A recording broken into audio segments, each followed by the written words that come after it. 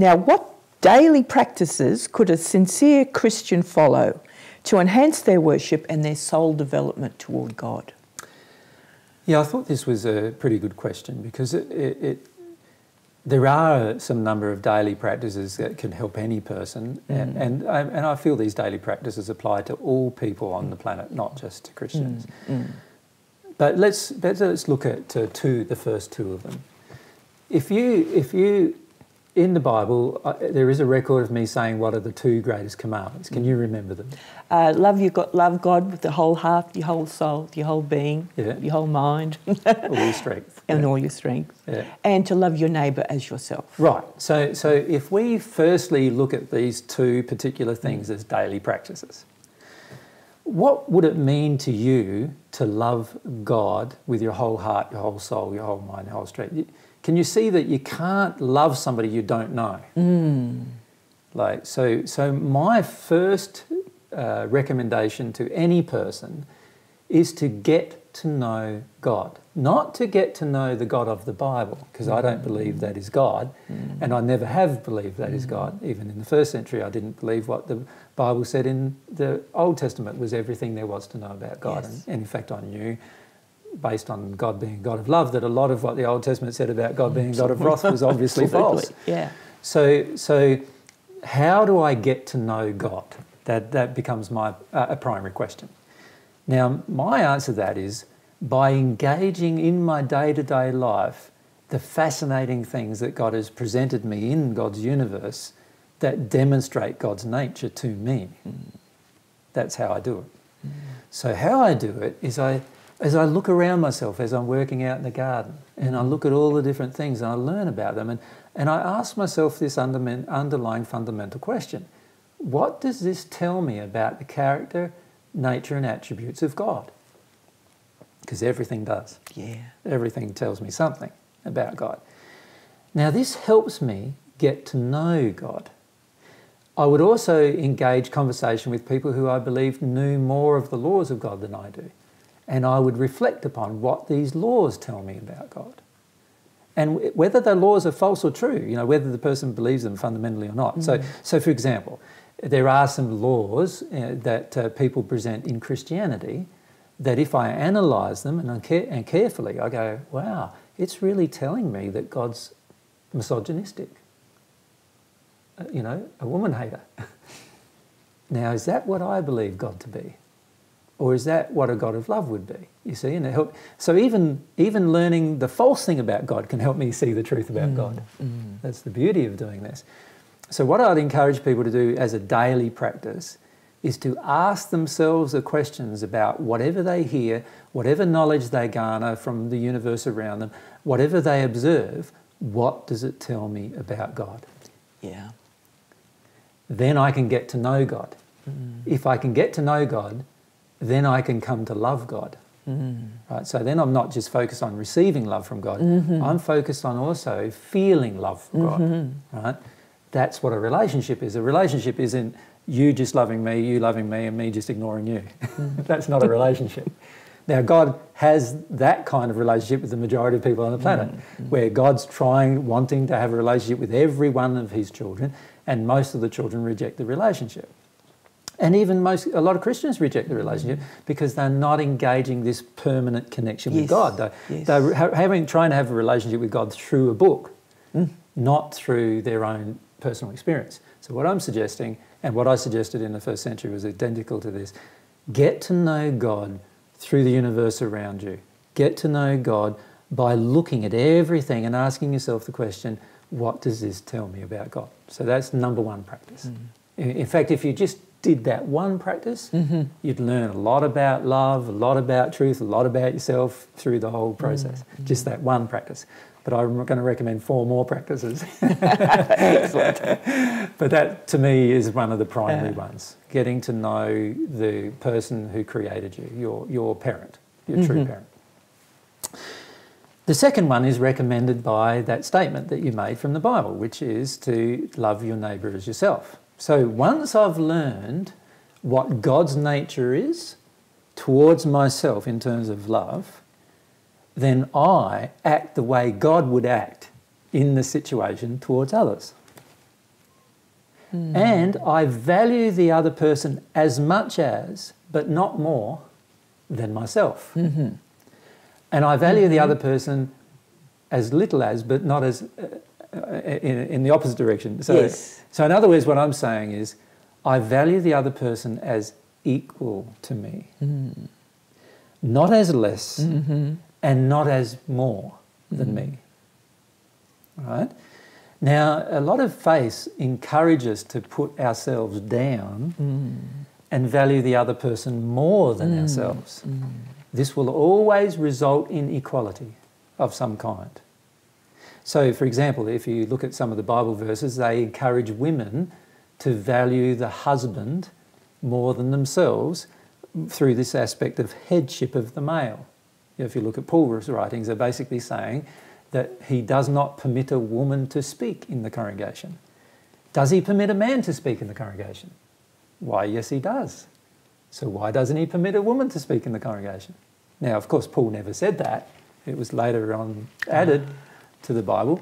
But if we looked at it and we said, okay, this is a point of inequality. Mm. If I love my neighbour as myself, then I will love a woman as much as I love myself as a man. Mm.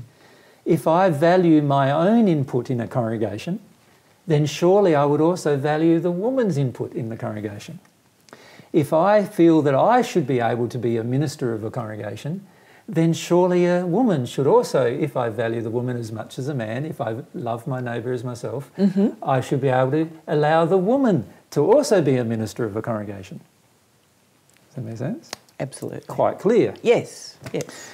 However, if I start choosing scriptures in the Bible, there will be many scriptures that disagree mm. with that. Mm.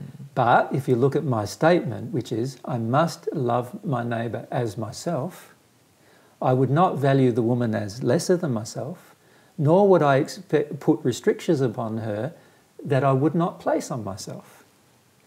And also vice versa. As a woman, I would not think that the man is greater than myself or think that I should have more restrictions placed on myself hmm. than the man has placed on himself. Hmm. Does that make sense? So, this aspect of loving the neighbour as equal to yourself, hmm. as yourself, Yes. Is a very important aspect to practice in your day to day life. It will help you determine so much truth. It will help you dismiss many of the so called sacred writings of all sorts of books because they are in they are, they promote inequality. Hmm. They promote either looking at a person who's greater or lesser than yourself. You see the same problem historically with Christianity and other faiths, where, where certain races of mankind were treated worse than other races based on whether they were cursed or not. So there is this underlying uh, justification of the, of the uh, slave trade during the 1800s based upon the scriptures about you know, Noah's, one of Noah's sons being cursed mm-hmm. and him being more black or dark than the others, mm-hmm. and so therefore it was cursed because of his colour. And, and the law of love of my neighbour as myself would instantly dismiss that mm-hmm. justification as false. Because if I love my neighbour as myself, I would love my black neighbour as myself. And my, if we can call them Asian, Asian, neighbour uh, or yellow neighbour, uh, sometimes they refer to, although I don't understand why, um, as myself. Uh, and any tribal differences mm. that I would have would instantly disappear mm. because I love my neighbour as myself as a mm. practice. Mm-hmm. Mm-hmm. So I would never go to war because I would never want somebody to go to war with me. And any resistance you may have against any any person at all, you feel the resistance, you immediately realise that that's the In damage you. within yourself, Exactly. and to deal with that. Exactly, and that's where humility comes Yeah, in, which yeah. is my next practice. so the next daily practice is to practice becoming more and more humble each day. You see, uh, it's no good uh, recognizing these truths about God, and in fact, you won't be able to recognize truths mm. about God or recognize truths about your neighbour unless you're humble to change yourself.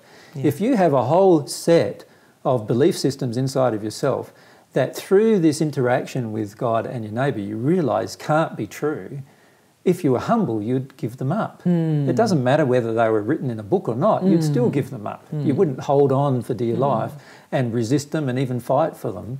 You would give them up quite readily. And this is why the daily practice of humility is so important.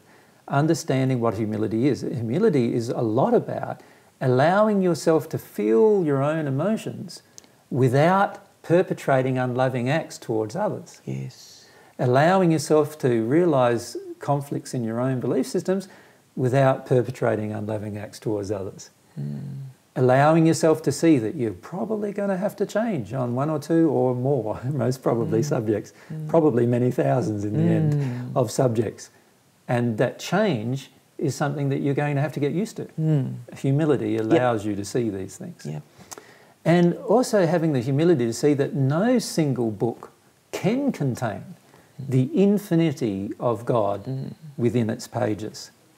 So hmm. humility would dictate that as well, the seeing of this particular knowledge. So that'd be my third daily practice, hmm. humility. Like practicing humility. Yes. Practicing feeling your own feelings rather than trying to blame other people Yeah. for, for your feelings Yeah. feeling, you know, how you're responding and seeing it as a, whether it's in and out of harmony with love. And if your response is out of harmony with love, seeing there must be an underlying cause that you need to address Yeah. inside of yourself and, and being willing to address it. Yeah. N- Not ignore it, not, not run away from it, not, mm. not, not say it was somebody else's fault, mm. but mm. rather look at what's going on inside of yourself. So that'd be my third daily practice. Humility opens you up to truth. Yes. So, truth is my fourth daily practice, a quest for truth. Mm-hmm. Um, my suggestion is to begin to pray not for things in the Bible or things in the Koran or things in, the, in any other holy book to be true, but rather to pray to know God's truth in your heart. And humility will help you see it when it is presented to you. Right? So that so humility in a way is like a doorway that opens yourself to truth. And truth is the doorway to seeing what love is all about and actually feeling love in the end.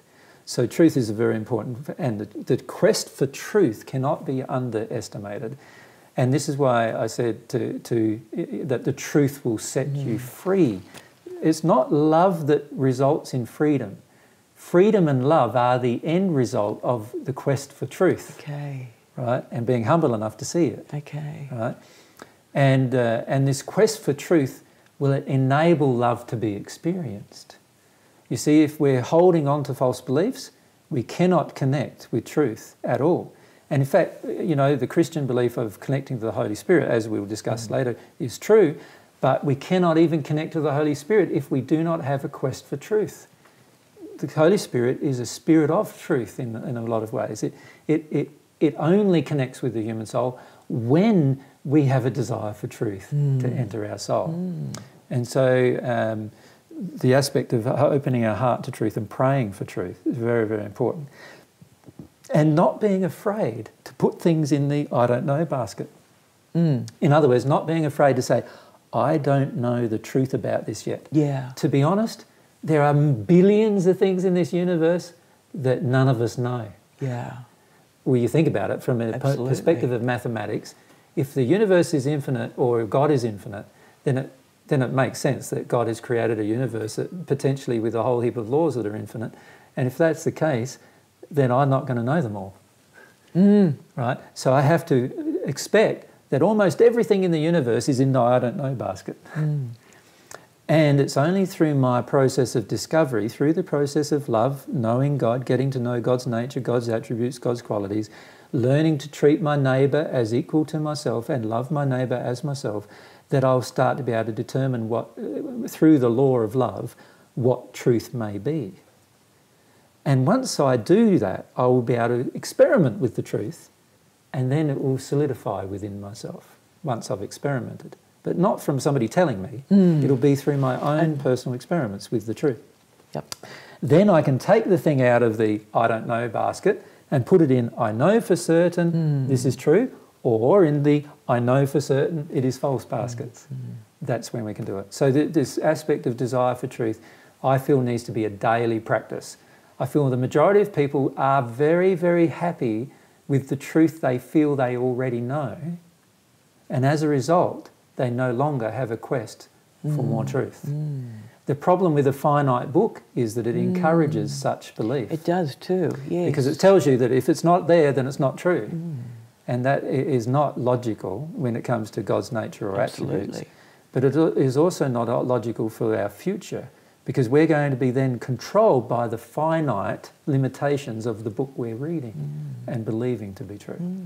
So I, I would definitely say to people this quest for eternal truth, this eternal quest for truth, for, for, for infinite truth, is something that we must engage. Mm.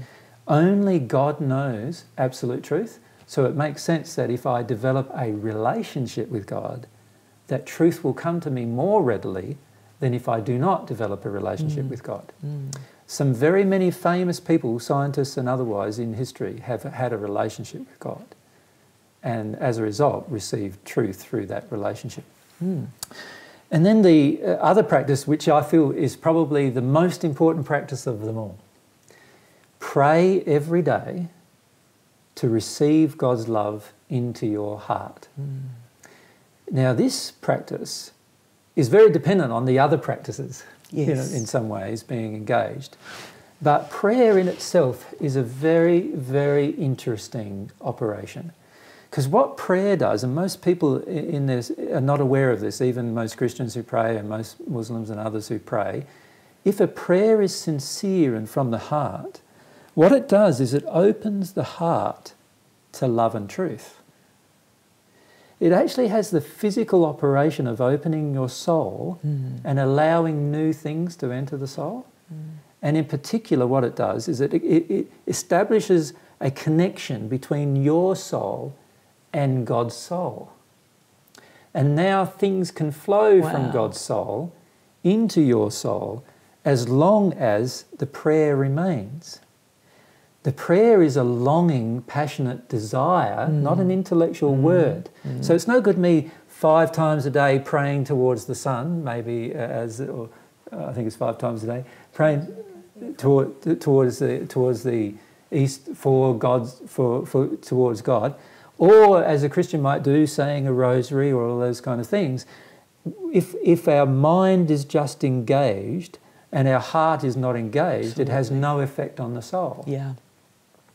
For prayer to have an effect on the soul, it, we need to feel it as a feeling towards God, mm. as a feeling and emotion, emotional, passionate state towards God. So we need to learn how to pray.